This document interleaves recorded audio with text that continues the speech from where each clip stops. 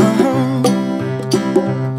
If you ever find yourself stuck in the middle of the sea, I'll sail the world to find you. If you ever find yourself lost in the dark and you can't see, I'll be the light to guide you.